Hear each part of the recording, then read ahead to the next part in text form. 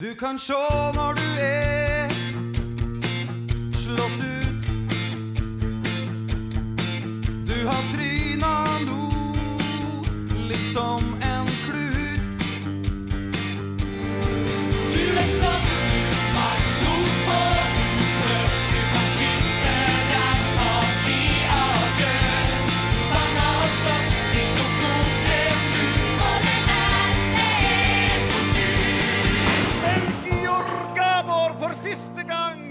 Har du skrevet dette?